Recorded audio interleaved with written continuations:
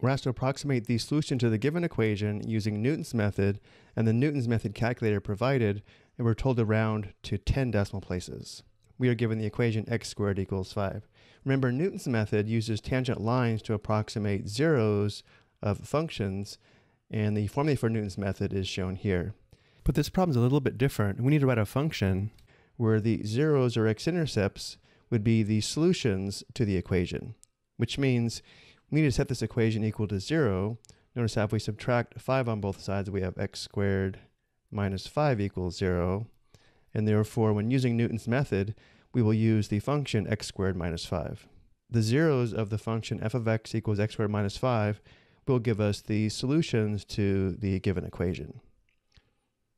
And if f of x equals x squared minus 5, f prime of x, also required for Newton's method, is 2x. Now there is one more thing you have to be careful about here. If we take a look at this equation, we know there is going to be a positive and negative solution. So what we'll do is use Newton's method to approximate the positive solution to 10 decimal places. And then from there, we can determine the corresponding negative solution. Before we start Newton's method, though, we do have to make an initial approximation, which is referred to as x sub 0 or sometimes x sub 1.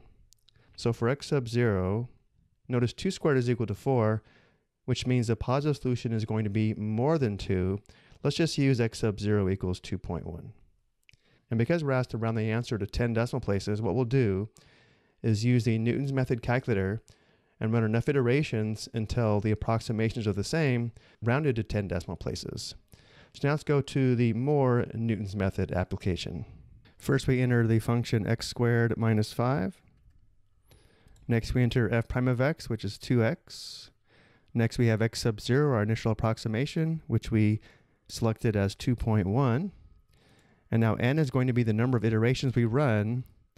Let's go ahead and select n equals 5.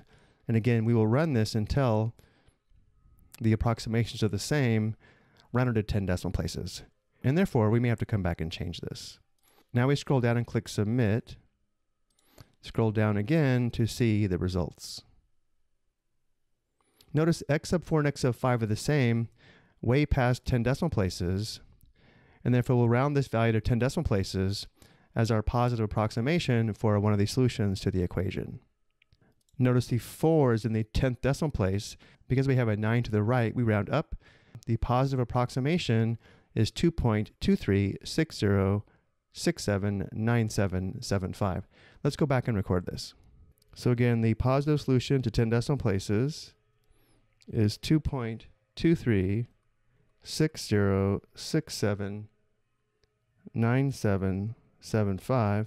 And again, we know for the equation x squared equals 5, we're going to have a positive and negative solution. And of course, the second solution to 10 decimal places will be negative 2.23606797775. Then let's just check this on the calculator. Notice the calculator does show the square of both of these values is equal to 5, but that's not actually true.